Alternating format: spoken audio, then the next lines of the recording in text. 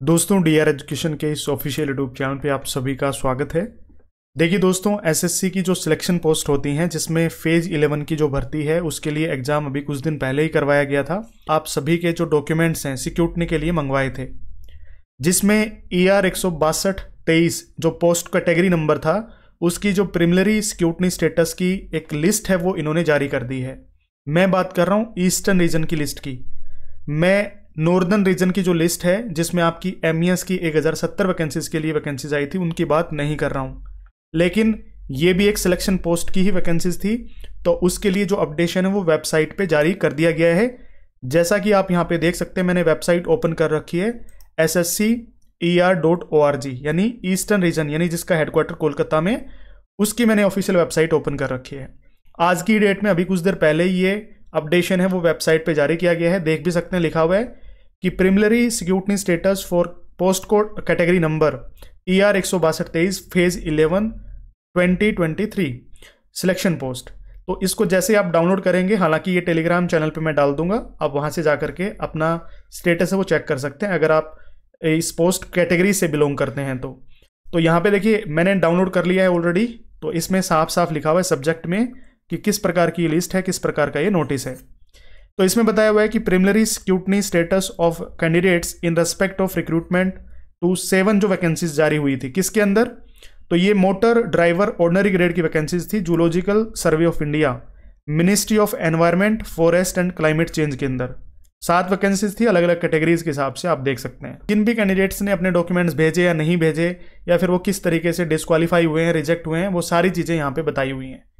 तो सबसे पहले यहाँ पे आप देख सकते हैं अगर मैं बात करूँ कि preliminary scrutiny status of candidates for the post of post category number है तो शायद यहाँ पे मिस्टेक हुई है, क्योंकि यहाँ पे पोस्ट कैटेगरी नंबर था एक सौ बासठ तेईस। एक सौ बासठ की जगह एक सौ इकसठ इन्होंने लिख दिया है तो कहीं ना कहीं मिस्टेक हुई है ये। अगर मैं यहाँ पे बात करूँ सबसे पहले कैंडिडेट की तो इसका जो सिक्योरिटी स्टेटस है वो रिजेक्टेड माना गया है। क्यों?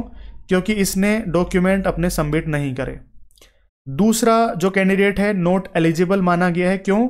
Neither driving licence for L M V nor experience certificate submitted यानी ना ही इसने अपना एल एम वी लाइसेंस और ना ही एक्सपीरियंस सर्टिफिकेट सबमिट किया। इस वजह से नोट एलिजिबल माना गया है इसको। अब मैं थोड़ी सी बात कर लेता हूँ कि और कौन कौन से रीजन हैं, जिसमें एक सबसे बड़ा रीजन था आपका कि यहाँ पे आप 12 नंबर वाले कैंडिडेट को देखिए। कैंडिडेट का जो नाम है वो सतीश कुमार है ओबीसी कैटेगरी का बंदा है नोट एलिजिबल माना गया है। क्योंकि इसने अपनी एक्सपीरियंस की डिटेल मेंशन नहीं करी। Experience detail not provided in the online application form भरते समय, जब इसने ऑनलाइन अप्लीकेशन फॉर्म भरा, उस टाइम पे इसने अपने एक्सपीरियंस की जो डिटेल्स हैं, वो फिल नहीं करी। और ये बहुत सारे कैंडिडेट्स का डाउट उस समय भी आया था।